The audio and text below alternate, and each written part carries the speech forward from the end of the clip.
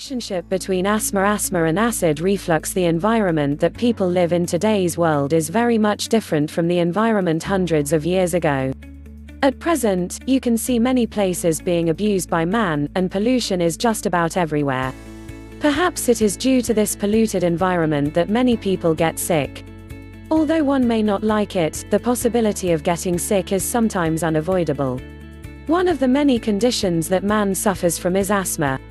Asthma is a well-known disease which is characterized by breathing difficulties, with symptoms like wheezy breathlessness, airflow resistance, and occurrence of frequent allergies, stimuli hyperresponsiveness, and nocturnal episodes.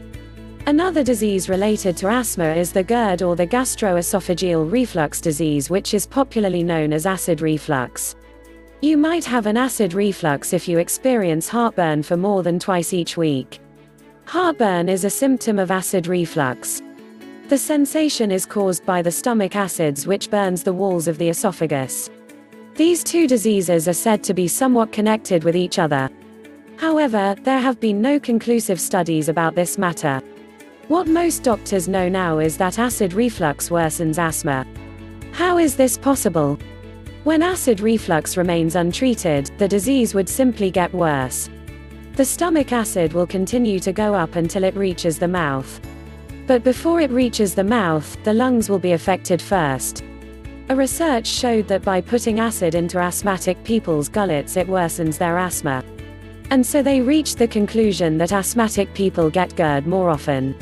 They further explained that this was caused by the chest changes due to big pressure every time the person breathes. The high pressure is said to force the stomach liquid to travel the wrong path. People suffering from asthma should avoid getting acid reflux, but the sad truth is that they are the ones who are most prone to having it. Studies regarding the connection of the two diseases are still continually being conducted because some pinpointed that if acid reflux is effectively treated, then the asthma should also be better. But they were disappointed by the results. So if you are diagnosed with asthma, and you think that you also have acid reflux, then it would be better to consult a good doctor. They would help you a lot in addressing your asthmatic problems, as well as your acid reflux. Never take medications without consulting your doctor. The doctor can give you medicines like the adrenaline and hydrocortisones. These are known asthma preventers. If you can prevent asthma, then it might be possible to prevent acid reflux as well. Most medicines are better taken by breathing them in because it has fewer side effects to the body. Other drugs also help asthma, but again remember to consult your doctor first. Asthma changes during a person's lifetime.